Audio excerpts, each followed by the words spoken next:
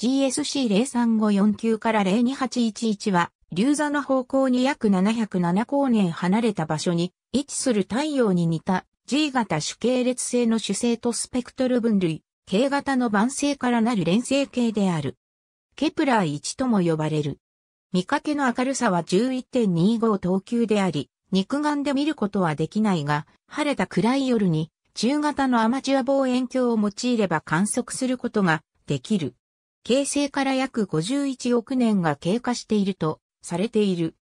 2006年に大西洋両岸系外惑星サーベイによるトランジット法の観測で主星 GSC03549 から 02811A を公転する太陽系外惑星 TrES-2 が発見された。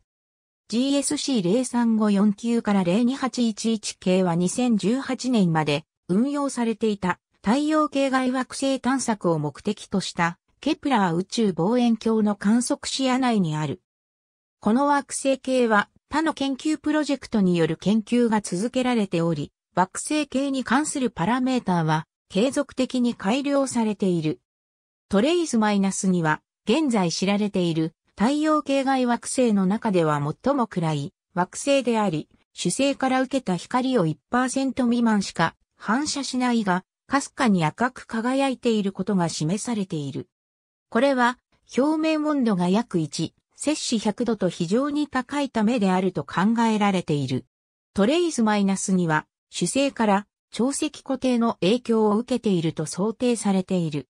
2008年に比較的小さな望遠鏡による初期のトランジット法の観測で発見された太陽系外惑星を持つ14個の恒星の研究が行われた。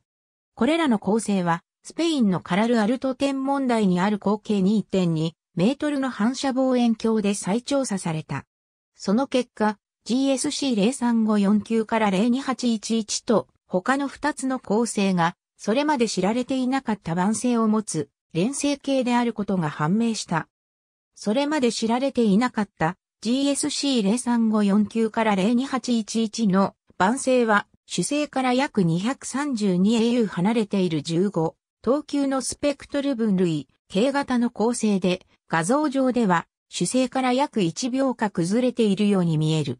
この発見により、主星と惑星 TrES-2 のパラメーターの大幅な再計算が行われた。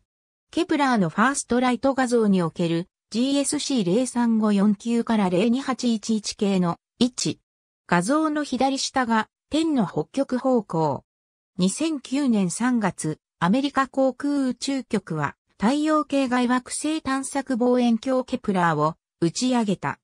ケプラーは太陽周回軌道からトランジット法で太陽系外惑星を発見するための探査ミッションである。同年4月、ミッションチームはケプラーが撮影したファーストライト画像を発表した。